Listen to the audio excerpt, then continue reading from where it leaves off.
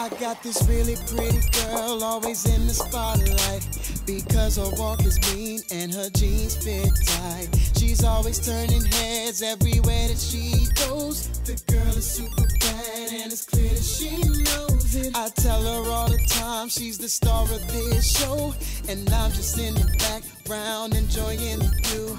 And every time she moves, got me singing this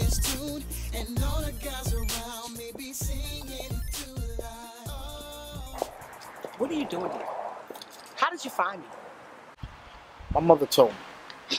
She told me where you work. Please let me explain. You don't understand. Understand? oh, I understand. I can't No, no, believe no, you. no, no, no, no, no. Wait. Wait. Please. Give me a chance. Let me talk to you. I've been trying to get myself together. Together.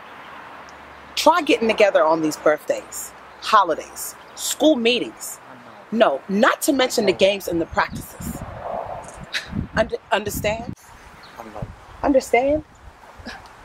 You got some nerve. With all your drinking and your smoking. you. No, but it's always you.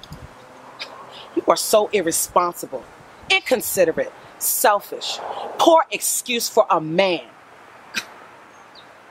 It's always you. What about me? What about the kids? I've been working. I've been trying to work hard. Oh wow. Working. Trying to trying trying to get everything, trying to make myself clean, baby. I've been trying. But you gotta give me a chance. Baby, don't you dare. I'm not gonna let you take me here. Layla, Layla, Layla. Layla, Layla, what? Let me tell you. Is serious. I'm dying.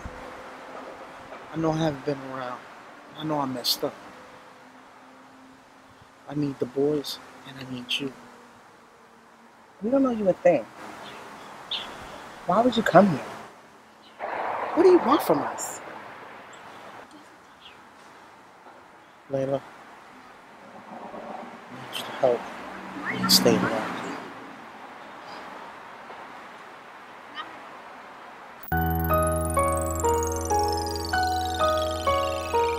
Yeah.